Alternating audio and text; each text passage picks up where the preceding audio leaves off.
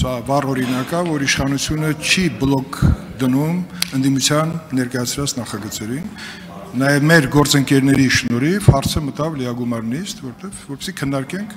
ամենայն մանրամասնությամբ այն ինչ-որ ընդդիմությունը միշտ ցանկացել է տեսնել, չէ՞, եղավ դա։ Հիմա հարց հարցը հետևյալն է։ Դուք գիտեք, որ կառավարությունը տվել է բացական եզրակացություն։ Ես կուզեի իմանալ ձեր կարծիքը, ինչքանով էր հիմնավորված կառավարության բացական եզրակացությունը եւ աշխատանքային քննարկումը, որի առաջարկով դուք նախորդ երկու ամս առաջ հետ վերցրեցիք եւ այդ քննարկումը բերեց հարցի լուծման հիմնական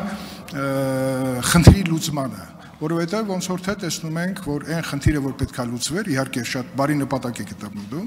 ինքը լուծում չտվեց, որովհետև մենք զինվորականների հոգսը թեթևացնելու փոխարեն մենք զինվորականությանը սպայակազմին, որը պետքա օգտվի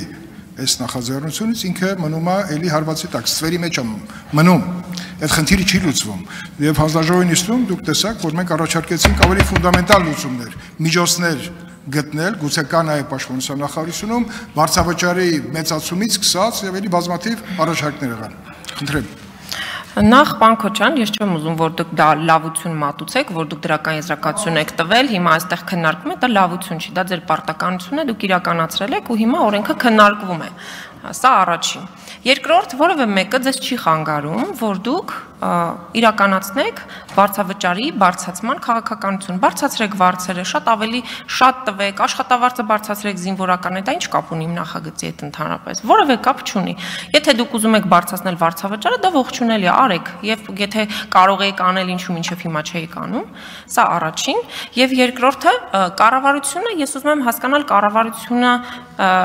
որպես հավաքական կերպար եզրակացություն երբ որ տվել է բացական, Եվս մեկ անգամ շեշտում եմ աշխատանքային քննարկման մեր մասնակիցների եւ նրանց տեսակետները։ Պաշտպանության նախարարություն